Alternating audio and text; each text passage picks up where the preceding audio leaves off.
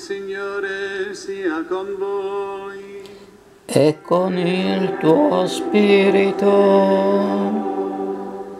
Dal Vangelo secondo Giovanni. Gloria a te, o oh Signore.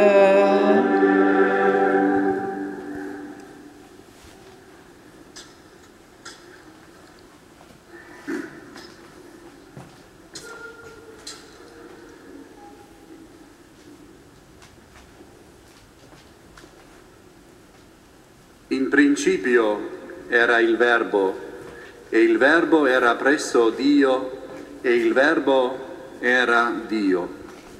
Egli era in principio presso Dio, tutto è stato fatto per mezzo di Lui, e senza di Lui nulla è stato fatto di ciò che esiste.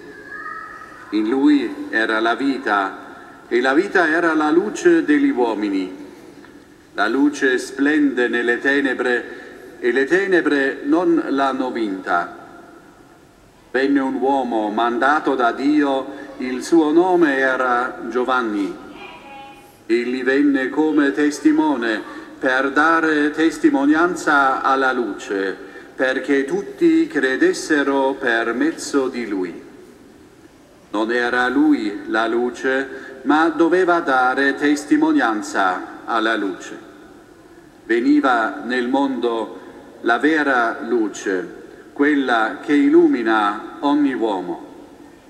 Era nel mondo e il mondo è stato fatto per mezzo di lui, eppure il mondo non lo ha riconosciuto.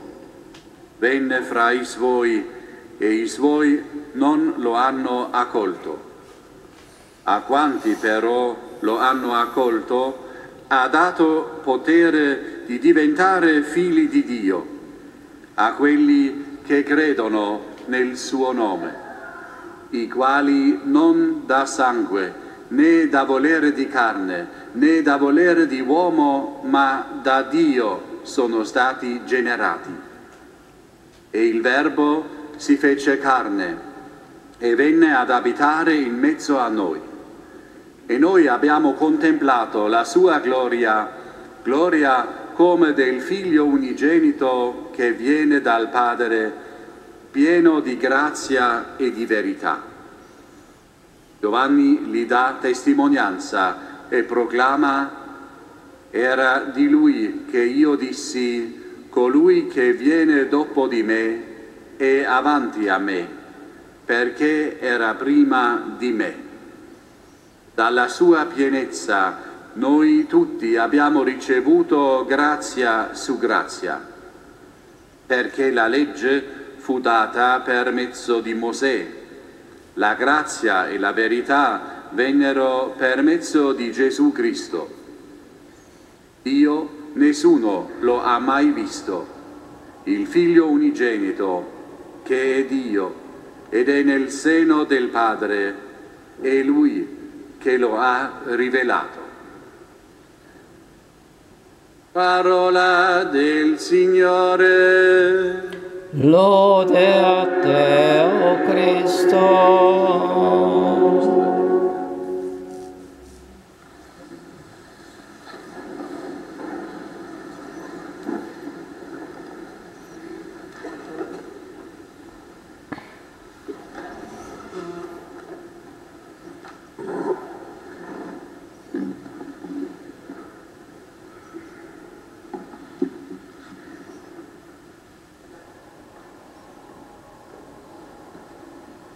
Cari fratelli e sorelle, è particolarmente solenne l'inizio del Vangelo di Giovanni che abbiamo appena ascoltato. Sono proprio le prime parole del Vangelo di Giovanni, il prologo.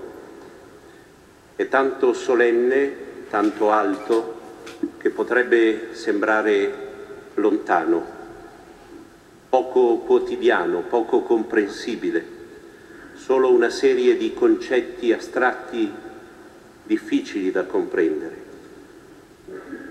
Eppure, eppure il prologo del Vangelo di Giovanni parla in modo molto concreto di una storia di amore, anzi della storia di amore più grande, in cui sono coinvolto anch'io e anche tu, tutti noi.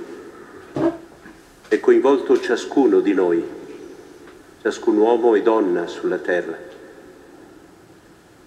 Una storia in cui il mio partner è infinitamente più grande di me.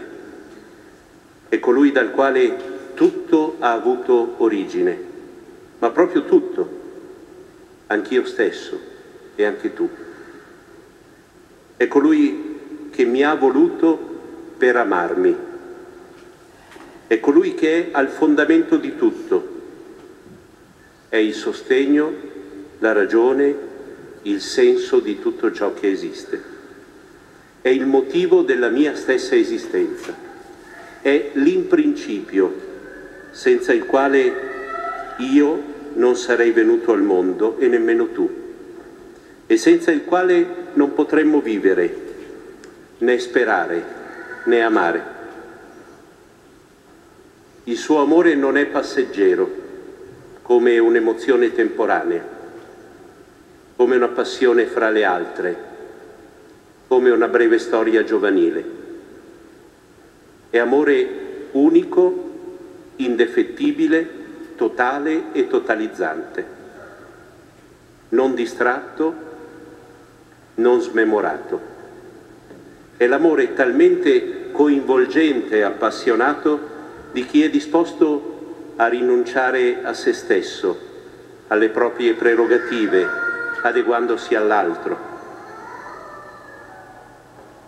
È disposto a rinunciare alla propria stessa vita per dare vita all'altro.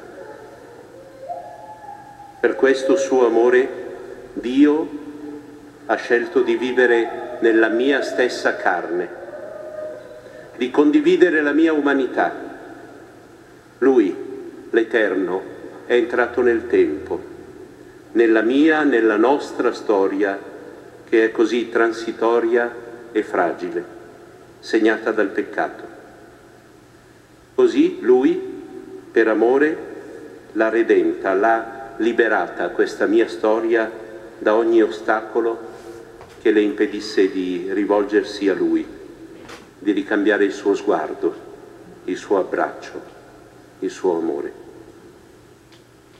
Dio è venuto nel mondo perché la sua presenza potesse essere palpabile, perché noi potessimo vederlo, toccarlo, addirittura perché delle creature umane potessero accoglierlo tra le braccia come un bambino, tenero e fragile.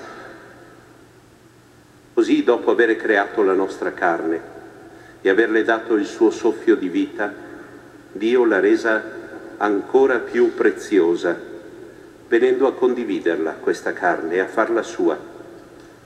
Noi siamo infatti della stessa carne che Dio ha scelto per il suo figlio.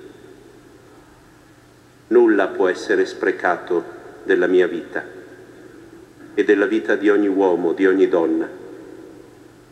Nulla può essere tolto, sottratto, sottovalutato.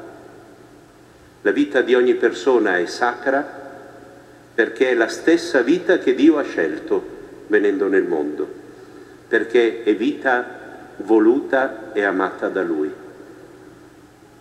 Natale è la conferma di tutto questo. La storia di amore di Dio con l'umanità, con me, con te. Storia di amore a lieto fine, questa sì, a lieto fine, perché è originata da colui che mi ha amato fino alla fine, fino a consegnarsi interamente per me, fino a morire d'amore.